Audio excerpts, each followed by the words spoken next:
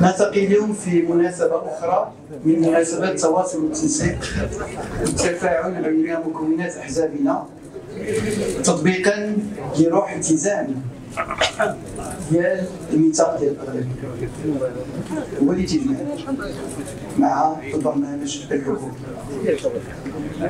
في الواقع كما جاء في تدخل سيد رئيس الحكومة هذا اللقاء تيجي في واحد الظرف خاص ظرف استثنائي مؤسساتي دولي كذلك باش نسوي وكذلك آه، سياق سياسي تحمل العديد من المكتسبات العديد من الطموحات والعديد من الإنجازات اللي حققتها الحكومة.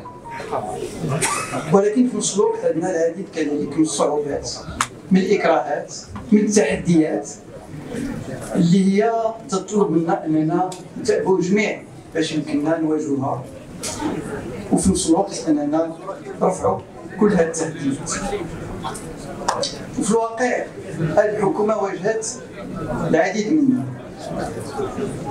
منذ البداية ديال الحكومات واجهتنا عدة محطات اللي هي في الواقع ما كانتش سهلة واللي هي لحظات لحظات اللي كانت دقيقة. ولكن الحمد لله واجهناها وتصدينا لها بتضافر الجهود كل مكوناتها وبقناعة راسخه لعندنا جميع وهو قوتنا في وحدتنا. قوتنا في وحدتنا.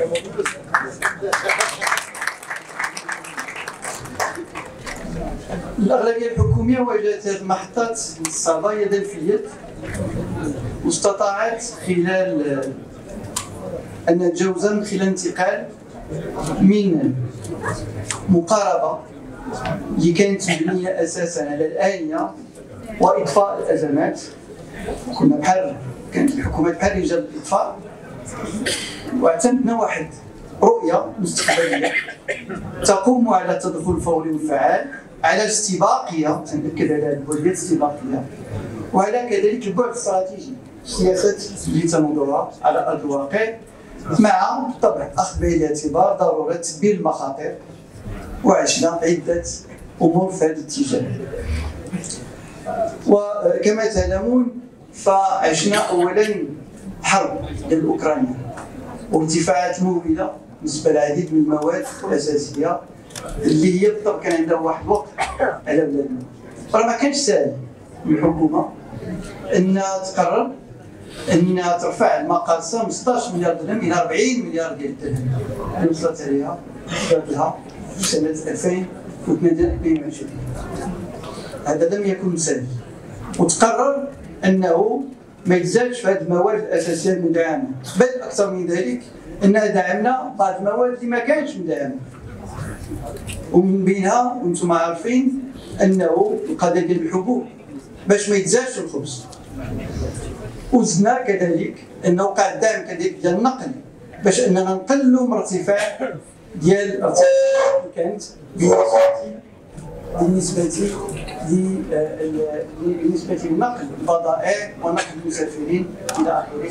من هذا وكذلك بحال اللي قال السيد رئيس الحكومة إنه كذلك دخلنا باش أن ثمن الكهرباء ما يرتفعش كان المفروض يرتفع أكثر من 60% على المواطنات والمواطنين النتيجة أنه الفحم عارف ارتفاع ثلاثة مرات. وهذا بالطبع كان عنده وقت على كلفه الإنتاج. اذا واجهنا الأمر. صحيح أنه وقع ارتفاع ديال التدخل. صحيح أن كان ارتفاع ديال المواد الفلاحية واللي كان عندها وقع ولكن لولا التدخل ديال الحكومة لكان ارتفاع أكثر بكثير مما كان عليه.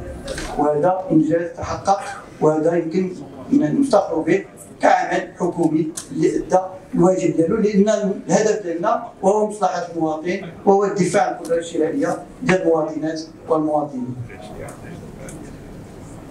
بهذه الروح الجماعية والتضامنية بين مكونات الحكومة واجهنا كذلك جفاف وكانت استباقيه لأن غير وصلنا أول شيء إنه ابتداء من دجامبر دار اتفاقيات مع الجهات مع الاحواض المائية اللي كان فيها اشكاليه ديال الجفاف وكان غيكون فيها اشكاليه ديال الجفاف. وفي نفس كذلك درنا الاستباقيه لأن حسينا بأن المشكل الجفاف كان يمكن يستمر واستمر مع الأسف سنة 2023 وبالتالي دار الربط ما بين الأحواز المائية اللي هو برنامج مخطط ملكي نكونوا واضحين في هذا الإطار. واجتهدنا جميع كحكومة متراصة كلشي تدخل باش أننا ننجحوا في الاطار والاخ رئيس الحكومة لها الدور الاساسي كذلك في هذا المجال باش أنه تكون الامكانيات المادية الضرورية وإننا غيرنا المقاربه وجينا بواحد الفكرة لأن هذا الربط المائي كان المفروض ينطلق من الشمال باش عاد يوصل إلى سد المسيرة حسب استراتيجية ديال 2009 ولكن اعتبرنا بأن الظرفية كانت تقتضي أننا نبدأو مباشرة مع هذا الربط اللي درنا ما بين السبو وأبي الأقران. بل أكثر من ذلك وهو إن الداخليه كتلعب واحد الدور مهم. لأن كان المشكل ديال التلوث ديال المرجان فصل الزيتون بالنسبة للسبو الناس فاس عارفين هل تتكلم وهذا كذلك داف باش إنه دار واحد العمل اللي يمكننا أننا نتجاوزوا هذه الإشكالية وتحقق هذا الأمر باش يمكننا نضمنوا ماء سهل الشرب بالنسبة ل 12 مليون ديال المواطنات والمواطنين اللي عايشين ما بين الرباط والدار وهذا كذلك إنجاز دار في وقت قياسي والحمد لله أن هذه الحكومة بأغلبيتها ان لعبت دور مهم في هذا الإطار. كذلك أننا خصنا نتكلموا وانه جاء كذلك الزلزال ديال الحوش وجاء الملك قاد بشخصيا المبادرات الضرورية اللي بداتها هذه الحكومة. وقع واحد.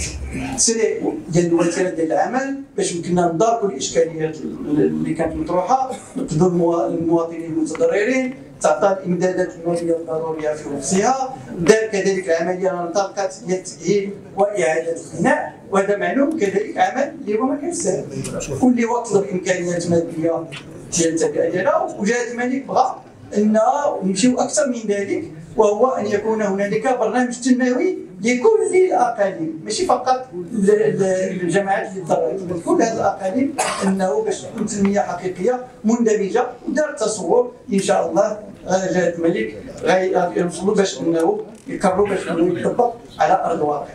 هذا كذلك عمل ضروري. إننا ماشي فقط أننا نقوم بذلك ولكن اللي اساسي وهو نواكبوا العمليات ديال تطبيق ذلك باش أن تكون اليقظه تامة وباش إن المواطنين إنهم يستافدوا في أقرب وقت ممكن ويكون البناء في المستوى العالي اللي هو تتجاوز هذه الإشكالية ديال الزلزال باش إنه السكن ثم تكون الاستدامة ديالو وفي كذلك تنطلق العملية ديال الطرق اللي هي مهمة. وبحال اللي جاء التدخل ديال السيد رئيس الحكومة وهو إننا كذلك تنفتخر أن هذه الحكومة هي اللي تطبق البرنامج ديال الحماية الاجتماعية اللي هو تيشكل ثورة اجتماعية بل ثورة ملك والشعب جديدة بالنسبة لبلادنا. والحمد لله انطلقنا في تعميم الحماية التغطية الصحية. ودابا دزنا المرحلة الثانية ديال الدم المباشر بحال اللي قال السيد رئيس الحكومة.